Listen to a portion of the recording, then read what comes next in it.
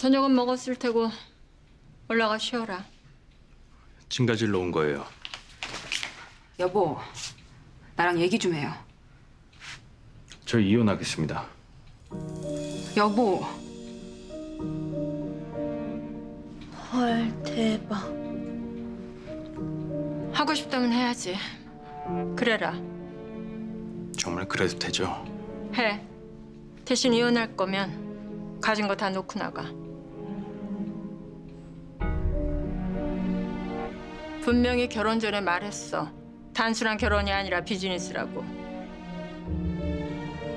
SA그룹에 대한 책임을 다하지 않겠다는 건데 말 생각 없다. 사장직부터 네가 가진 주식, 재산까지 하나도 빠짐없이 모든 거다 두고 나가도록 해. 어머니, 이 사람 제정신 아니에요. 속상해서 마음에도 없는 말 한 거예요.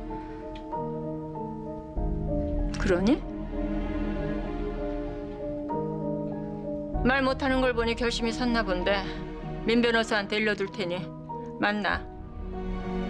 주식 양도는 물론이고 상속까지 다 포기하겠다는 각서 써. 진심이세요? 난 내 입으로 한 말 거둔 적 없다. 가족이라고 다르지 않아. 제가 잘 설득할게요. 조금만 시간을 주세요. 얘기 좀 해요.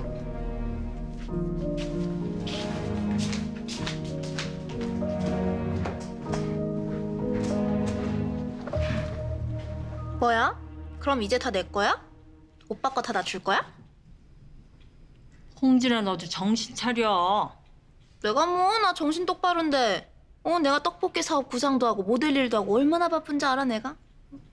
떡볶이 같은 소리 하고 있어. 넌 강동아부터 정리해.